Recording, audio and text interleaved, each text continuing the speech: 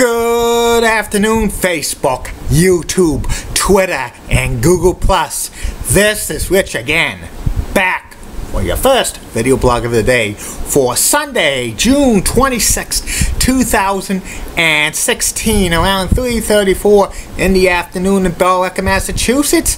It's a hot one today, but humidity is reasonable some news to report. Texas Rangers crushed the Boston Red Sox last night by a score of 10 to 3. The Lowell Spinners are 9 and 0. Today they could go for a perfect 10 and 0. That would be very good. They're they're filling up the stadium in LeLacheur Park because they're on a hot streak, a big, big winning streak. And maybe this will continue to have the momentum for them to make the playoffs. They haven't made the playoffs since they've been in existence that much. And Colombia beat USA by score of 1-0 in the third place for the Copa America soccer tournament. Well, the USA finished pretty good, fourth place. And that's about it on news. My first video blog subject of the day is the top 10 sports teams that are missed. This is a very, very impressive list. Some of these teams are no longer in existence because they moved to other cities. None of these teams on here folded.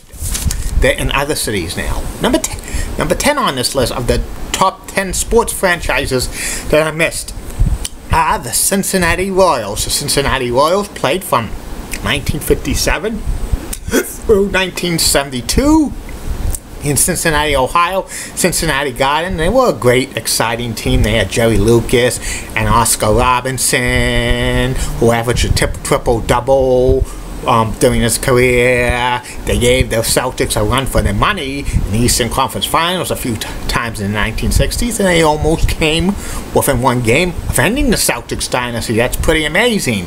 But the fans not support the Royals after they got rid of Oscar Robertson, and they moved to Kansas City, Omaha, and then eventually to Sacramento.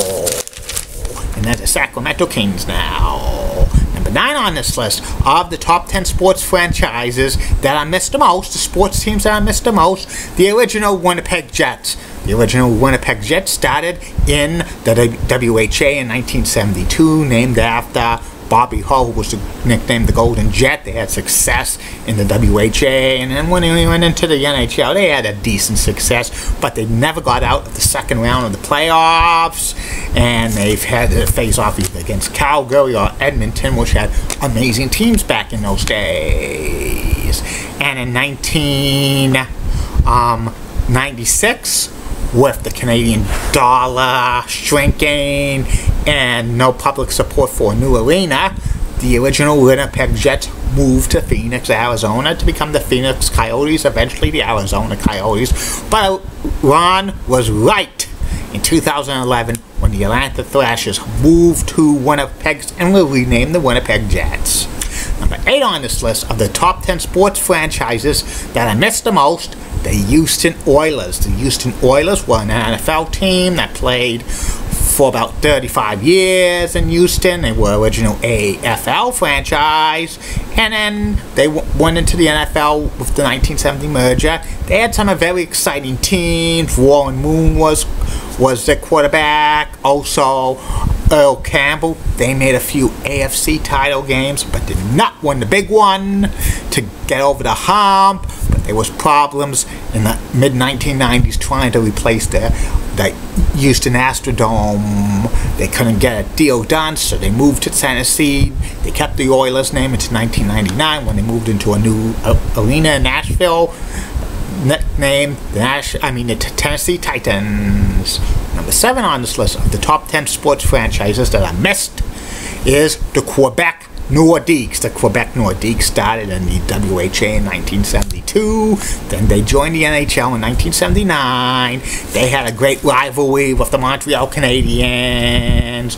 Also, they had some great players Anton Stastny, Peter Stastny, Marian Stastny, um, Goulet, and Joe Sakic, among others.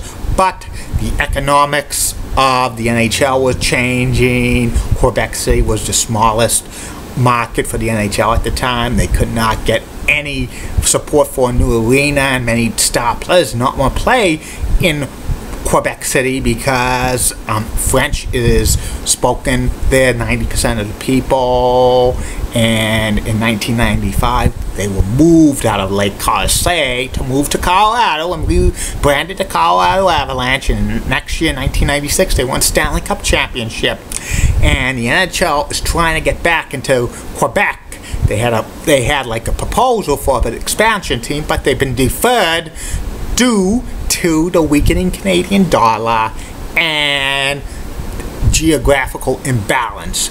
But one of these days, Quebec City will get back the Nordiques either through expansion or an existing tenant moving there. Number six on this list of the greatest sports franchises that I missed is the Minnesota North Stars. The Minnesota North Stars won expansion team in 1967. They played 27 year, I mean 26 years in Duluth, I mean Bloomington, Minnesota, the Met Center. They had some decent success. They made two Stanley Cup finals, had some great exciting players like Dino Ciccarelli, Don Beaupre, Brian Bellows, Mark Tinordi, Curt Giles, Jon Casey, and a few others, but they had trouble getting a, a support to replace the aging Met Center, and in 1993 they were moved to Dallas, Texas, and rebranded the Dallas Stars.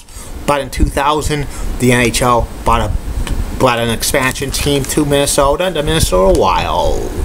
Number five on this list of the, of the top 10 sports franchises that I missed the most, St. Louis Rams. St. Louis Rams were from 1995 through 2006-15. They moved from Los Angeles to play at the Edward Jones Dome. They only had four winning seasons, but during the late 90s and early 2000s, they were the greatest show on turf had Kurt Warner, Marshall Faulk, and a couple of others. They won one Super Bowl, Super Bowl 34. They almost won Super Bowl 36. But after um, Kurt Warner and Marshall Faulk basically retired, the, the Rams were mediocre. They never had a winning season after 2004, and they're back in Los Angeles number four on this list of the top 10 sports franchises that I missed the most, the Brooklyn Dodgers. The Brooklyn Dodgers were around for many, many years, from the 1890s to 1950s. They had a great rivalry with the New York Giants and the New York Yankees. They had some awesome players like Duke Snider and Jackie Robinson and Roy Campanella, among others. They would always have Subway Series against the New York Yankees. New York Yankees won most of them, but in 1955, the Dodgers won them. And in 1957, the rivalry was ended when the when the Dodgers and the Giants moved out west. And and they will be branded the Los Angeles Dodgers. Three on this list of the greatest sports franchises that I missed, the Montreal Expos. The Montreal Expos played in the National League from 1969 through 2004. They played at Jarry Park, and then at the Olympic Stadium. They were an up and coming team many years, but they couldn't keep their stars because they couldn't afford them. And they tried to get a new stadium, but the government in Quebec did not want that. It fell through. And in 2004, they moved out of Montreal to Washington, D.C., and we branded the Washington Nationals. But there's a push to get Major League Baseball back in Montreal.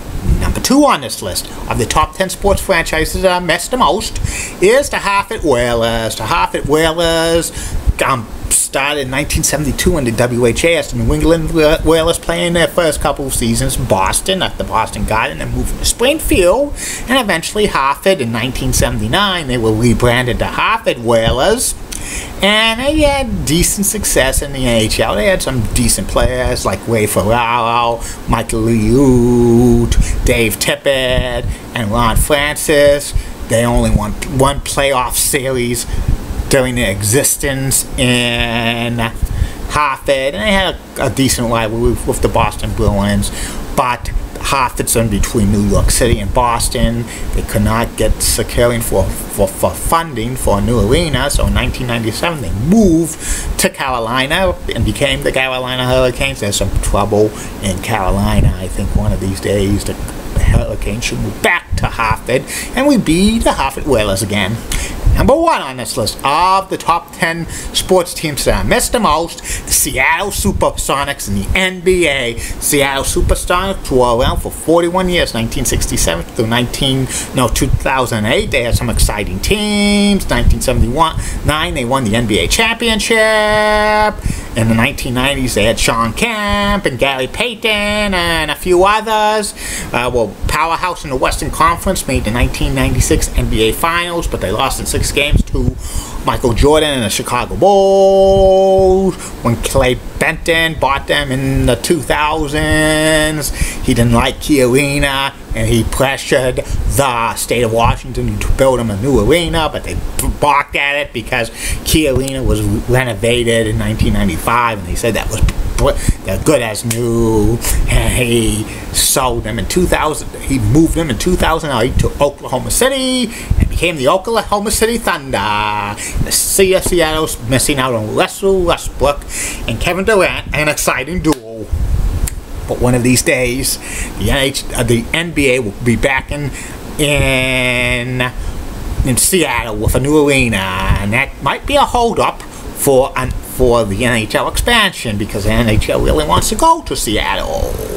That's about it on that be back with the second final video blog of the night, which will be about the SEC Network, powered by ESPN, worldwide leader in sports. Keep calm, everybody. And I'm a Julie Betting Guy. Molly was blood of WCCO accent has nice legs. Elizabeth Hot so so stunning, she's best. Amy Swensey's awesome. Linda Church of WPIX Channel 11 in New York is such a cool guy and has nice legs.